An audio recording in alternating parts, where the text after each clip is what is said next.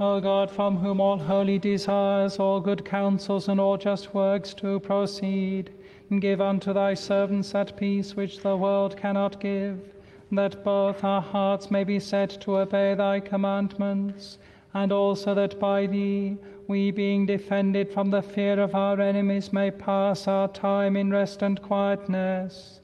Lighten our darkness, we beseech thee, O Lord, and by thy great mercy defend us from all perils and dangers of this night, for the love of thy only Son, our Saviour, Jesus Christ.